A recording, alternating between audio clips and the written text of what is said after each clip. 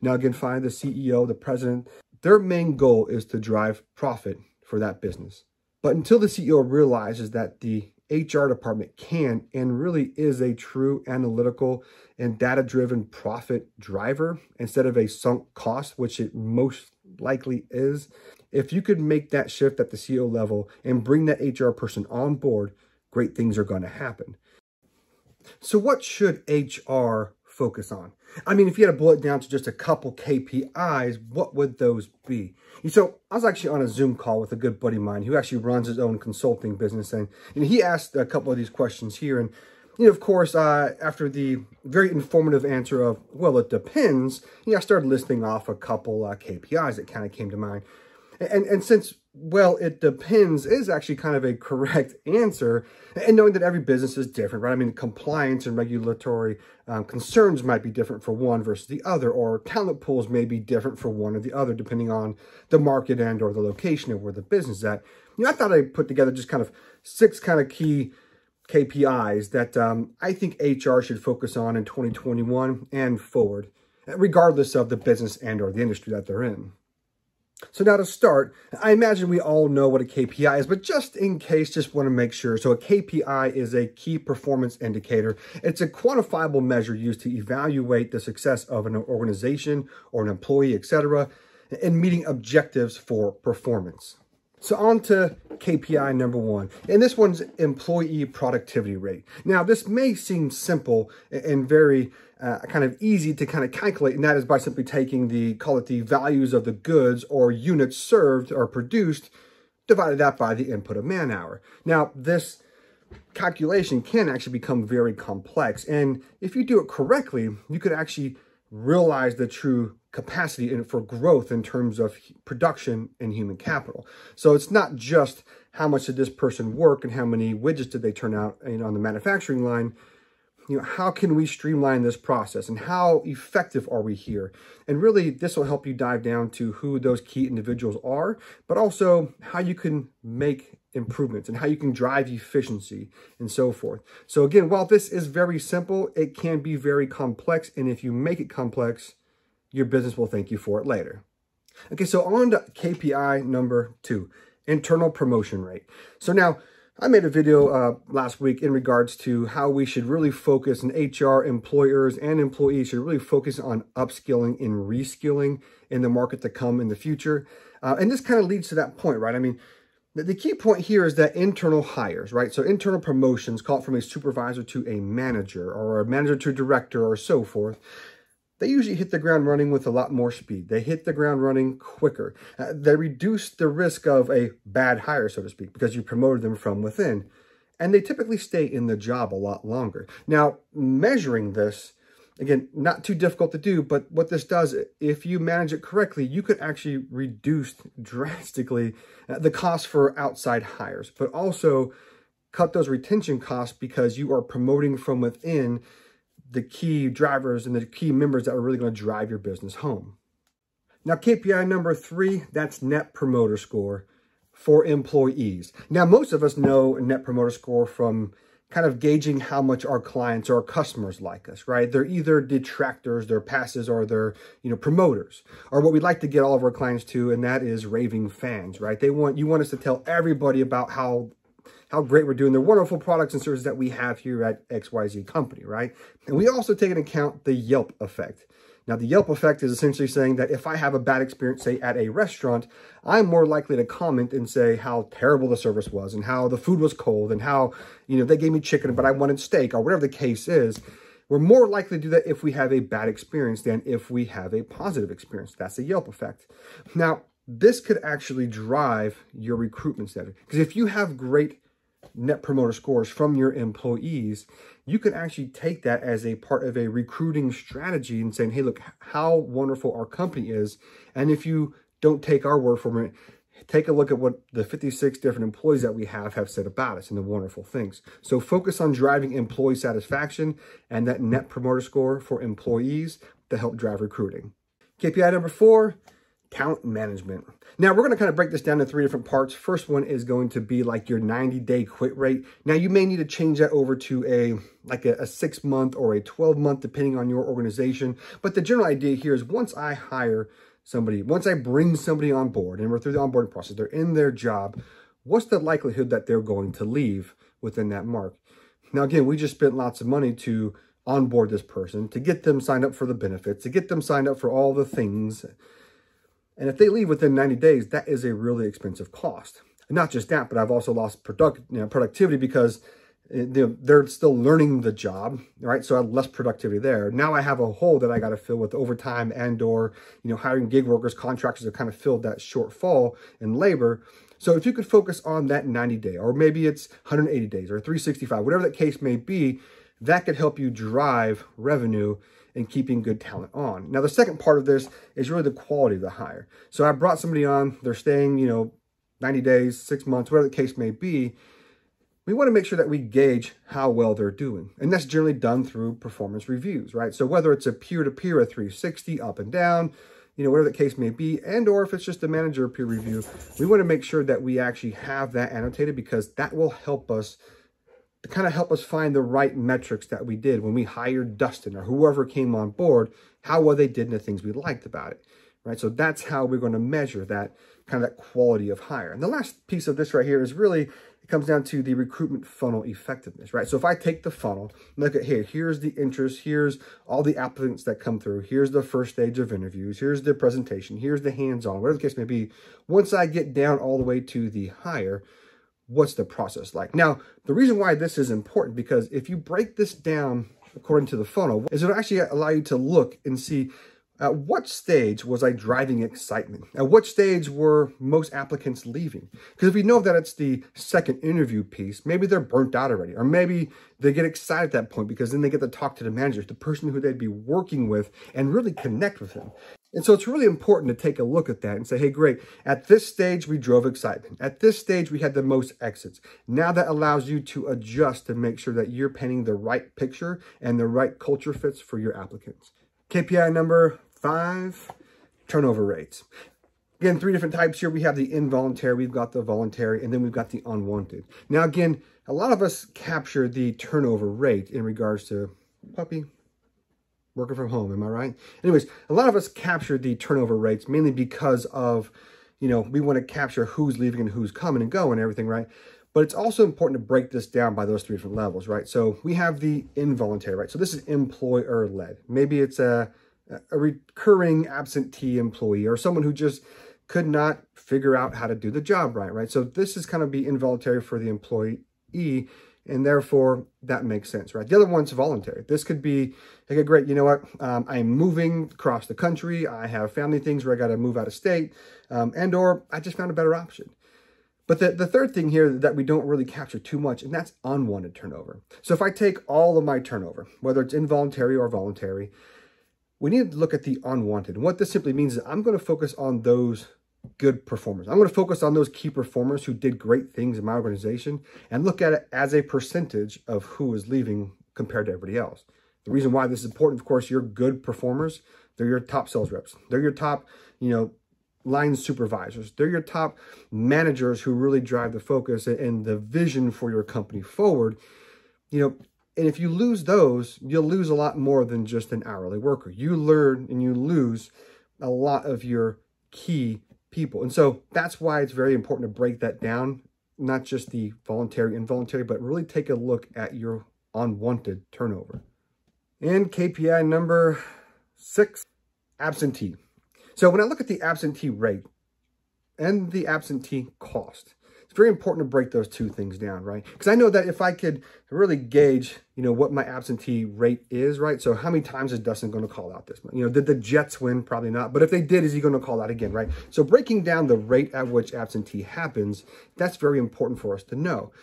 But also, I think more importantly, is to break down the cost of the absentee, right? So the CDC actually found, and this is going back to, I think, 2018 numbers, what is, but it costs roughly $1,700 per employee per year. Now to break that down to you, if you have a 50 employee company, that's going to cost you on average, about $85,000 a year. And so if I understand the rate and I understand the reasons why they're doing that, and I could uncover the underlying reasons for absenteeism, I then can really focus on the cost that is actually hurting or helping my company. Now, if I could drive that rate down to call it 10%, 5%, whatever, the numbers don't really matter in this case, but if I could reduce that, now what that does is now that $85,000 a year, maybe that's only $40,000 a year. And now I've just really kind of built up some revenue from the HR side of things. And this is how HR can be a true profit center for the business. Okay, so there's the big six KPIs for HR. In my mind, anyways, again, you can you can always add and subtract a whole bunch of these things because again, it really depends upon your organization as a whole. But what can I do to shift these things? I mean, what can I do to really drive manageable and measurable results?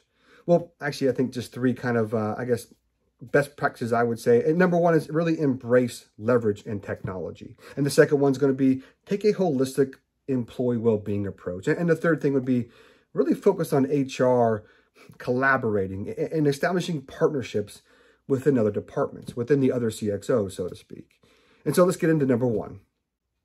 So as the old adage says, you can't manage what you don't measure. And so how can you really adjust and change a lot of these metrics if you don't embrace the technology and leverage the capabilities of it. You know, there's actually a great report um, saying that NASA is actually changing its approach on people analytics. And this article kind of points out that they are shifting to what they call a graph database versus a relational database. And what does all this mean, right? So a graph database is simply this. Very simply, a graph database is a database designed to treat the relationships between data and equally important to the data itself. It is intended to hold data without constricting it to the predefined model. Instead, the data is stored like we first draw it out, showing how each individual entity connects with or is related to others. So when I look at the structure of a graph database, and you can see how a lot of times this probably plays out and more so with a, call it a project manager, you know, kind of role. Or here's a new product that's coming online. Here's all the individual pieces that are coming into the node, so to speak, or coming into the nucleus for this product launch and so forth. Now, can we do this with people technology? And the answer is absolutely yes, we can. You see, because if we take each team, right? If we take each node and start looking them as how does this person you know, affect these different silos and different organizations, very quickly you can see how each employee is really affected and works and collaborates with other different nodes.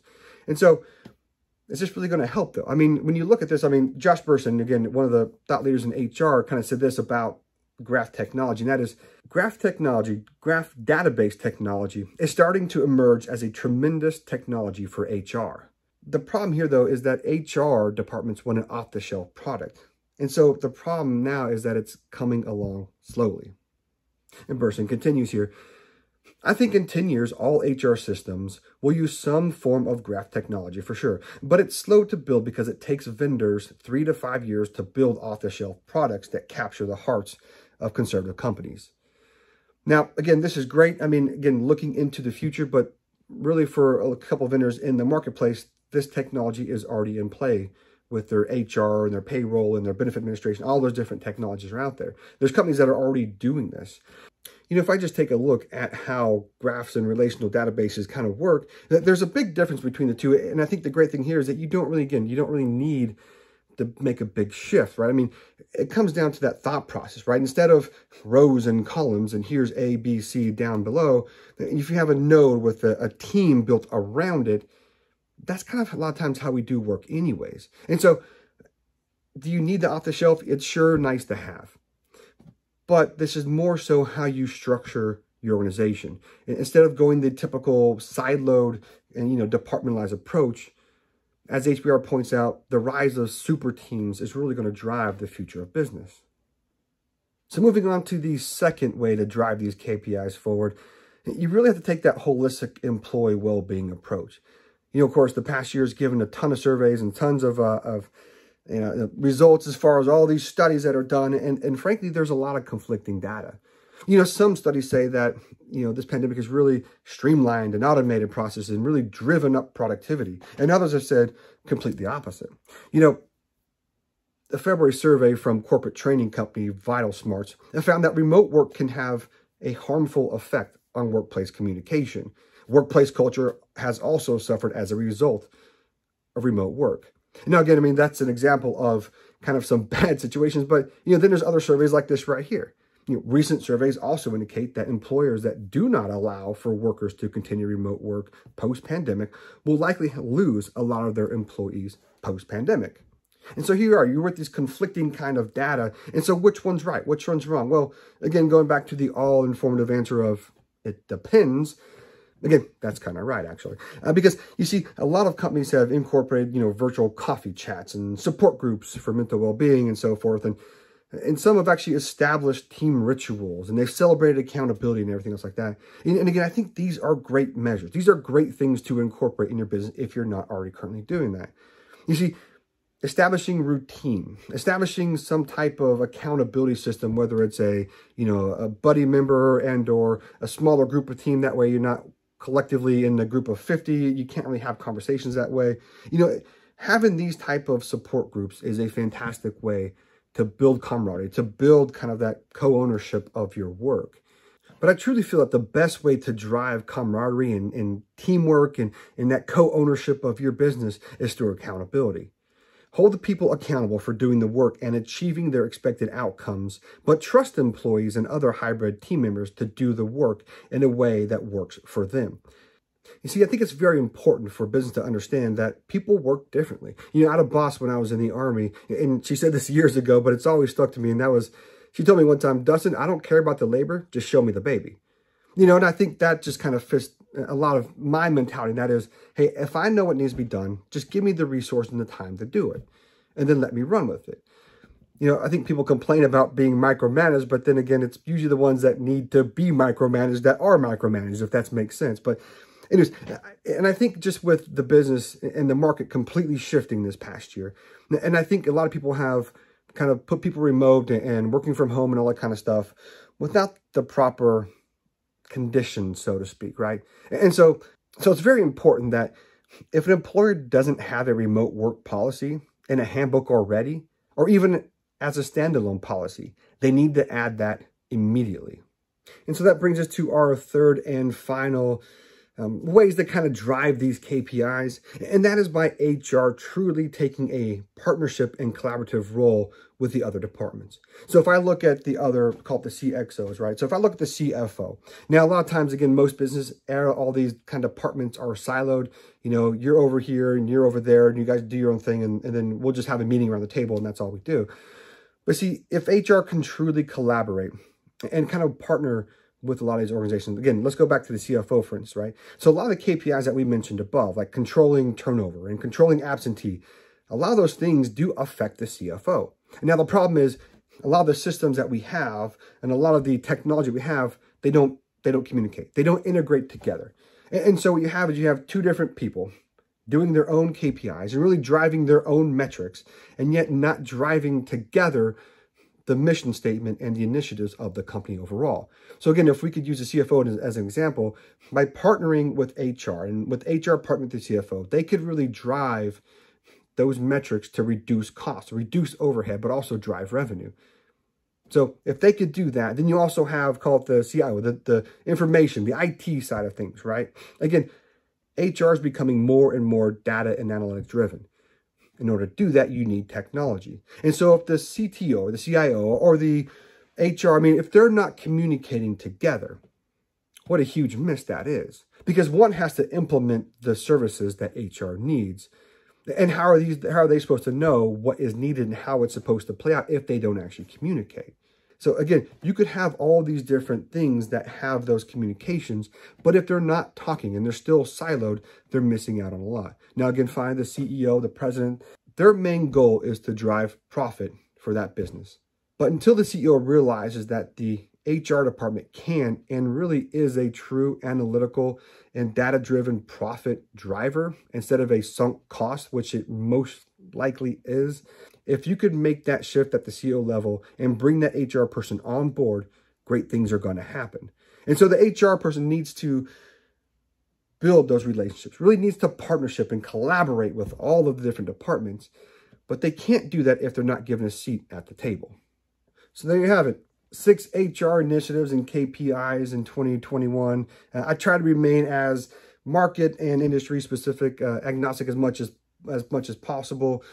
And I hope this does help. I'd love to to you down below if you have any comments or questions, concerns. I'm always free to reach out. Um, as and as always, best wishes. Be awesome. Take care.